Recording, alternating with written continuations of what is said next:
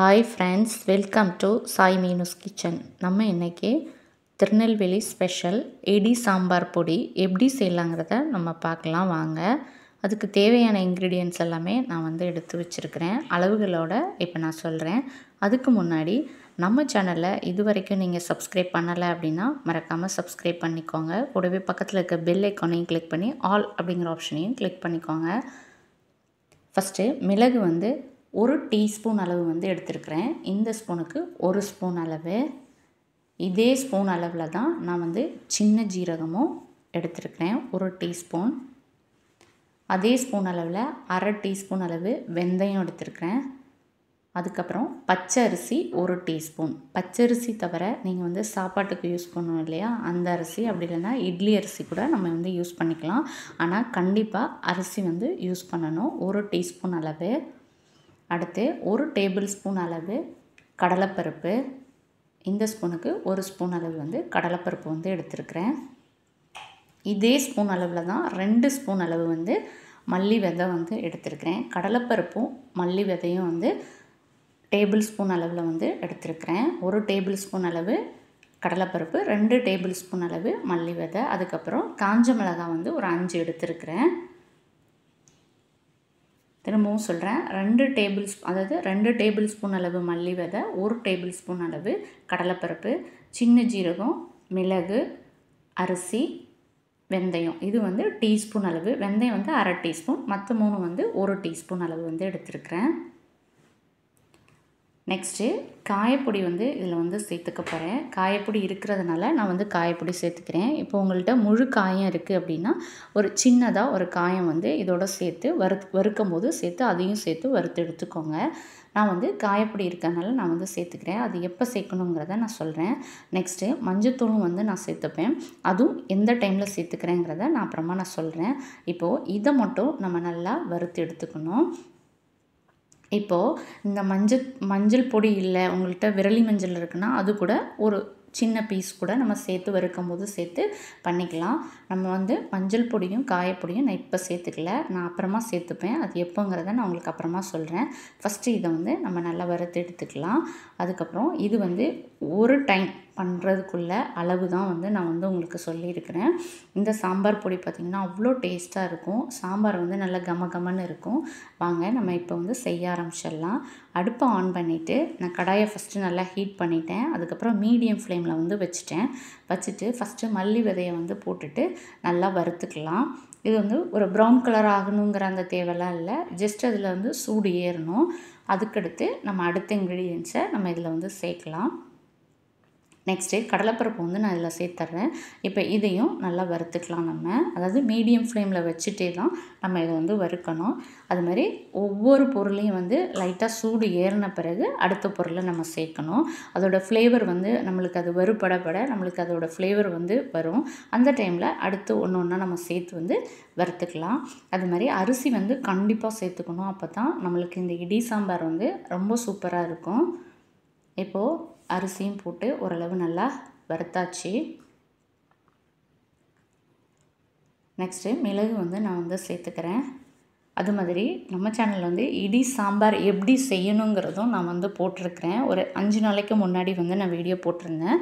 அதோட லிங்க் வந்து நான் டிஸ்கிரிப்ஷனில் கொடுக்குறேன். எண்டு ஸ்க்ரீன்லேயும் கொடுக்குறேன். கண்டிப்பாக போய் பாருங்கள் இப்போது சின்ன ஜீரகமும் நான் இதில் வந்து சேர்த்துட்டு அதையும் நான் வந்து வறுத்துக்கிறேன். அது மாதிரி அந்த வீடியோவில் பார்த்தீங்கன்னா நான் வந்து இடி சாம்பார் பொடி எப்படி செய்யணுங்கிறத வந்து காமிக்கலை. ஜஸ்ட்டு பொடியைத்தான் நான் அதில் வந்து போட்டு நான் காமிச்சிருப்பேன். நான் வேறு வீடியோ வந்து நான் உங்களுக்கு அடுத்து போடுறேன் அப்படின்னு சொல்லியிருந்தேன். அதுதான் இது. இப்போது இதையும் நல்லா வறுத்துக்கலாம். நல்ல மணமாக வருது ஒவ்வொரு இன்க்ரீடியன்ஸும் நம்ம சேர்க்கும் போது பார்த்திங்கன்னா அதோடய ஃப்ளேவர் பார்த்திங்கன்னா செம்ம சூப்பராக இருக்குது நல்ல மணமாக இருக்குது. லாஸ்ட்டாக நம்ம வந்து காஞ்ச மிளகாய் வந்து சேர்த்துக்கலாம். அது மாதிரி காஞ்ச மிளகாய் வந்து ஒரு அஞ்சு இது வந்து நம்ம சேர்த்துக்கிட்டால் போதும். ஏன் அப்படின்னா நம்ம காய் வேகப்படும் போது பார்த்திங்கன்னா அதில் வந்து கொஞ்சம் மிளகாத்தூள் வந்து சேர்ப்போம். அதனால் அஞ்சு வந்து போதும். நான் சொல்லியிருக்கிற அளவில் இதே மாதிரி நீங்கள் ட்ரை பண்ணிங்கன்னா நல்லா சூப்பராகவே வரும். இப்போது எல்லாமே நல்லா வறுபட்டாச்சு. இப்போ அடுப்பை வந்து ஆஃப் பண்ணிட்டேன். நம்ம வந்து இதை வந்து இப்படியே வந்து வைக்க வேண்டாம்.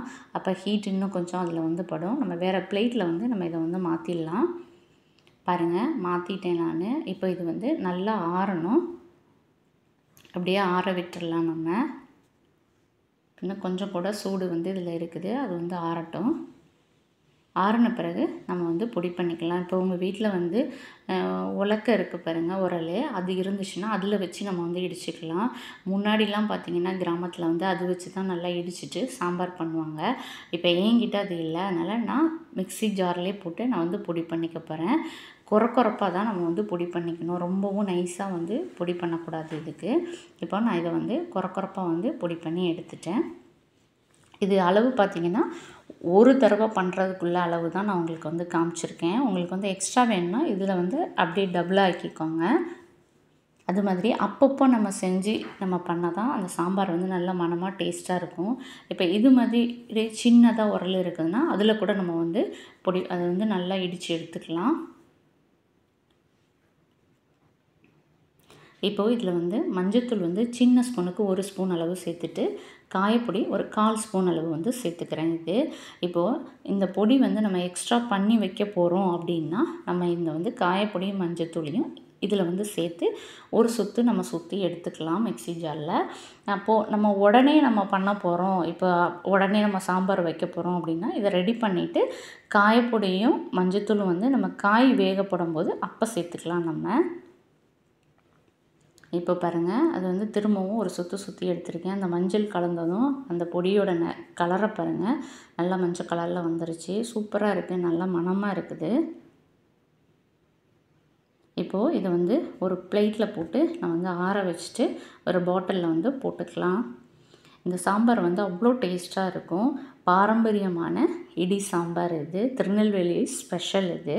கண்டிப்பாக நீங்கள் வந்து ட்ரை பண்ணி பாருங்கள் உங்களுக்கு ரொம்ப ரொம்ப பிடிக்கும். ஒரு மாதத்தில் ஒரு ரெண்டு தடவையாவது இந்த சாம்பார் வந்து செஞ்சு சாப்பிடுங்க. அவ்வளோ நல்லாயிருக்கும் செஞ்சு பார்த்துட்டு எப்படி இருக்குது அப்படிங்கிறது தான் மறக்காமல் உங்களோட ஃபீட்பேக்கை கமெண்டில் சொல்லுங்கள் இது பிடிச்சிருக்கு அப்படின்னா லைக் பண்ணுங்கள் மறக்காமல் உங்கள் ஃபேமிலி அண்ட் ஃப்ரெண்ட்ஸுங்களுக்கும் இதை வந்து ஷேர் பண்ணுங்கள்